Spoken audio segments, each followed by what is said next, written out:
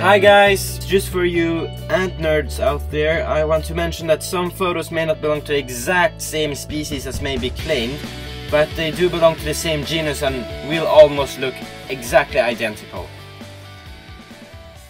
So, hi again, I want to introduce you to this first tutorial on the channel of Nordic Ants, and it's going to be about when to catch your queen ant, and I will explain how to catch your queen ant and when to catch your queen ant. So stay tuned and it's about how to catch them seasonally in Europe. So don't worry if you're you don't live there. Most of the information is also relevant for most countries with corresponding species and climates.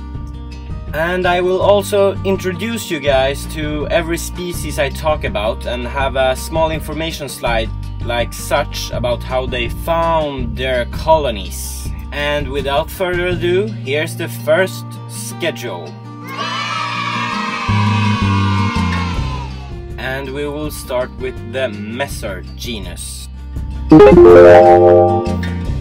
This is a very cool and popular genus. Two, the two main species in Europe, Messor structor, that flies from April until May, and the Messor barbarus that flies from September until October uh, are both called harvester ants and because their main food source is obviously grains and they collect loads of them and carry them back to their nest and in the nest their gargantuan major workers with huge mandibles cuts the grains into something called ant bread that can later be consumed by the rest of the colony members.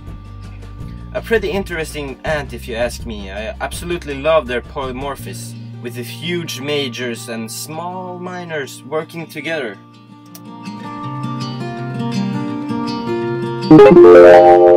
Next off is the famous Camponotus genus. They fly from May until August, but uh, care, they can have different flights earlier, around April. And dependent if you live in a warmer part of Europe, they may fly even earlier. So personally I have in possession two different species. First a Herculeanus colony with only one queen and second a two-year-old Ligniperdus colony. I also like these this genus. They are huge, huge ants. In fact the colony right here in front of you is the biggest ant species you can find in whole Europe. The queen is huge the only downside is that it takes time for them to grow into a mature colony. It takes about three years or more. But uh, for me that's insignificant because eventually this species may be, after a year or two, if given the right amount of protein, uh, starting to produce majors. And this is an ant cast that is super cool and I don't know, so rewarding to observe and so majestic. These ants often tend to live in wood and tend to dig in it, so please take note that if you live in a wooden house, don't let the queen escape.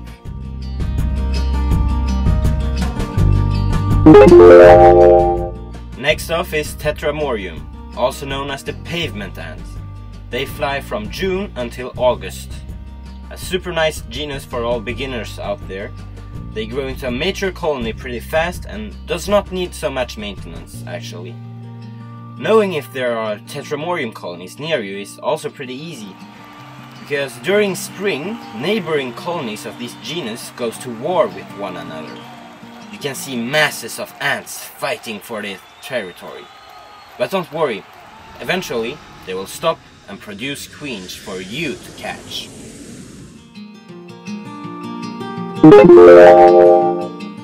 And during May until June, during the summer, we had the Formica rufa, or the Polyctena queens flying.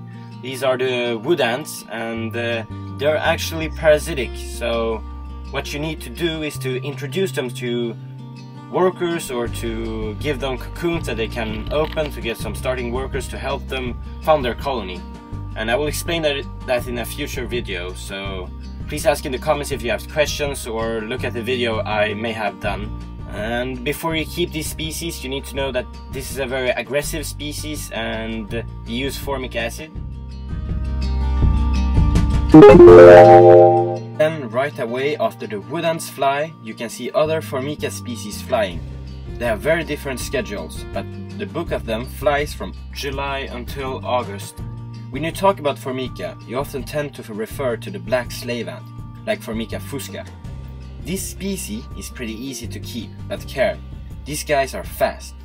But included are also the parasitic Formica species. They have often red textures on their thorax like wood ants. And as a parasitic species, you need to provide the queen with some starting workers or cocoons when founding the colony. A harder variant to keep in the Formica genus.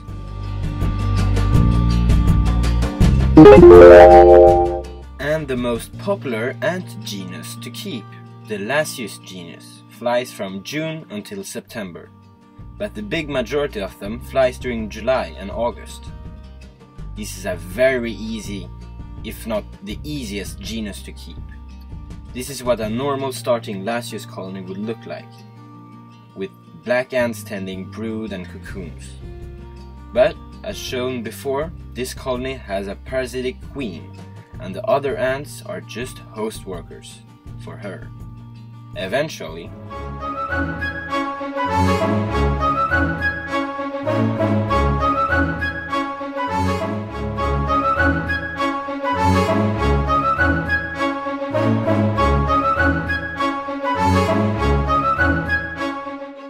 How uh, to differentiate a uh, claustral Lasius queen from a parasitic is not as hard than other genuses. Here's the standard claustral Lasius queen with a big gaster and a kind of undersized head. Here you got a parasitic queen ant. She has a bigger head and a smaller gaster, which makes her more agile and deadly. The other fatter claustral queen almost never stands a chance. Temnothorax and Leptothorax are the second smallest genuses that I will introduce to you guys in this video. These guys, also called acorn ants, fly from July until September. These are very easy genuses to keep. They can outstand very low temperatures and is the species that can survive the furthest north of the whole ant genera, a real Nordic ant. These guys, as said, are tiny. Therefore, the queen is super tiny for a queen ant and may be hard to catch. My method is to catch the colony by picking up an acorn with a hole in it that I see trafficked by small ants. And if I'm lucky, a queen may be in it, because they literally live in acorns. After that you can transfer them into a more observable formicarium. That's what I did. At last is the European fire ant, scientifically known as Myrmica rubra. This genus flies late, but some species may fly earlier, but most of them fly during August and September. The queens are semi-claustral, which makes them a bit challenging to keep as a beginner. They also have a pretty painful sting.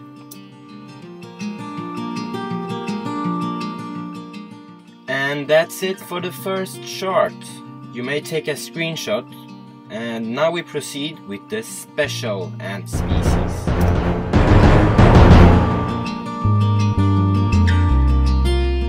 So here's the second chart. So the first special ant species is the Solenopsis fugax, also known as the thief ant. These guys have their nuptial flights uh, in September, and it's a pretty cool, pretty cool species. Big queens and small workers, and they actually live up to their name, thief ants, uh, by doing such.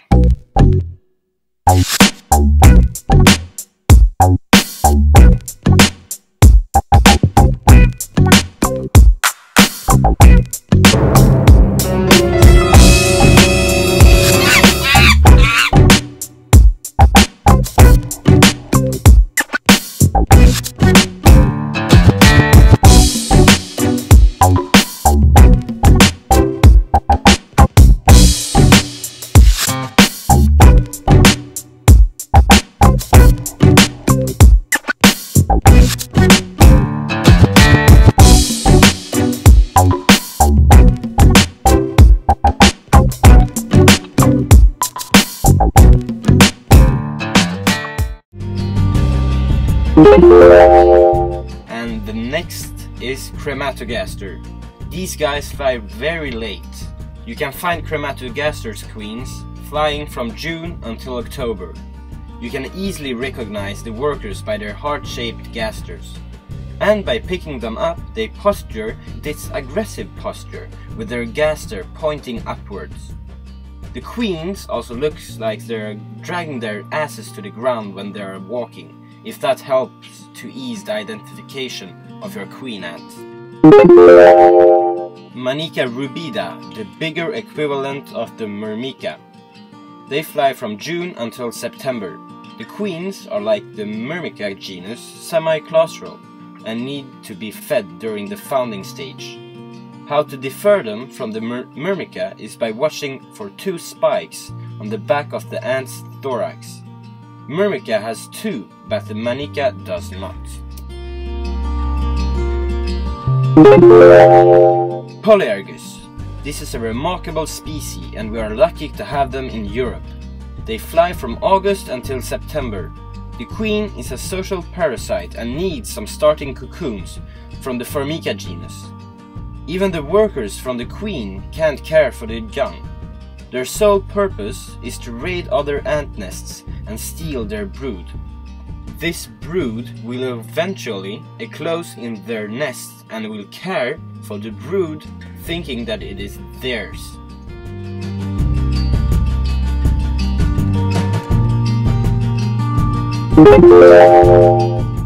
I think that this species may be the most peculiar of all European ants. They are arboricoal, which means they are adapted to live in wood. They have their nuptial flights during July and August.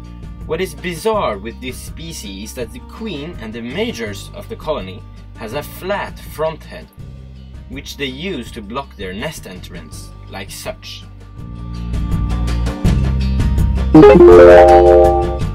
And now the Argentine ant. The invasive Linepithema humile, I think it's pronounced like that, species, flies from May until July. This is a very invasive species and have outcompeted other native species in Europe. Their success is because of their unique collaboration between colonies. All nests are daughter nests from a single colony that has achieved to, because of human activity, reproduce in Europe. Eventually, you have a super colony that stretches super far. Recently, there has been another colony that has managed to colonize Barcelona and later reproduce. The consequence is two super colonies competing for terrain. Reminds me of the human colonization. But this time Europe is the victim. Take that, Europe.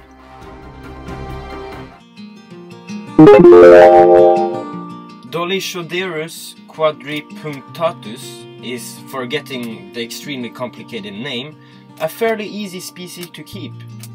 They fly during August and September and are recognizable by their four dots on their thorax.